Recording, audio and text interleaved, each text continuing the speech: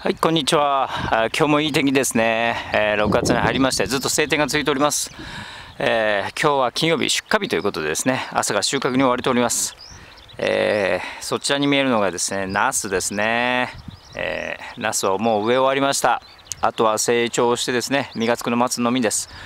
ということでですね、今はですね、大根を収穫してるんですけども、えー、ご覧になったらわかるでしょうか。花が咲いてしまいました。えー花が咲きますと当然ですけども大根としての価値はありません、えー、花が咲いたらですねこうなってますね、えー、大根の上にこのように花が咲いてきます。すべて畑に、えー、捨てていきます、え収穫して捨てる。収穫して捨て捨てる、え種をまいてですね、えこのように出荷せずに、え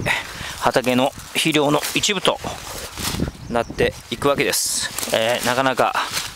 悲しいことではあるんですけれどもこれも自然の摂理ですね、えー、私たちはあ野菜として、えー、出荷してるんですけれども大根くんはですね、え目的は、え花を咲かせ実をつけてえ子孫を残すというのが目的ですね。私たちはその途中の大根というものをですね商品として作って売ってるわけですけれどもそれは彼らにとっては、え本望ではないでしょう。ということで、えー、この収穫作業というよりもですね、えー、これを畑にこう捨てるということがなぜか中心の作業になっちゃいましたけどもということで6月いっぱいでしたらですねなんとか例年ですと大根出せるんですけども、えー、厳しい感じですね、えー、今日はなんとか出せると思うんですけどもその隣にこれが最後の1本ですね。この中に最後の1本が残ってるんですけどもおそらく遠立ってくると思います。4月の冷夏が影響したものと思われますが、えー、これも仕方ありませんね。ということで、えー、